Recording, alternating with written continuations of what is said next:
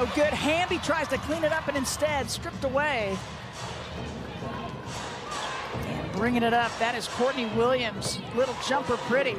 Alyssa Thomas returning to all-star form like she was in the Wubble in 2020. The handoff to Williams, hanging in the air. One of them went to Syracuse.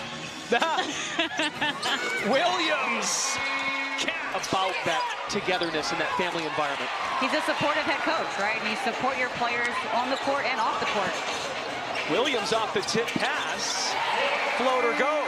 Smooth, silky smooth.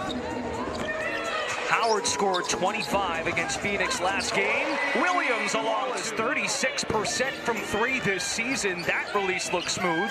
Atlanta by two. Oh, Kristy Wallace is an excellent three-point shooter, but Courtney Williams says right